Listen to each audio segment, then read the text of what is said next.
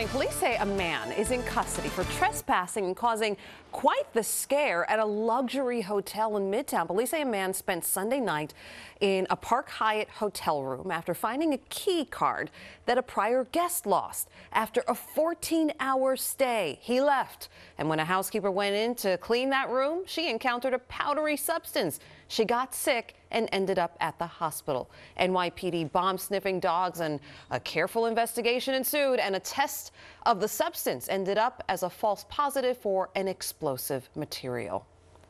The room was a vacant room at this time. The people who were in there, the family that were in there, checked out at 10:30 on Sunday morning. At uh, 8:20, it shows a swipe of the room where he entered the room. Uh, the family had five keys, and uh, they believe one of them they must have dropped, and he picked it up.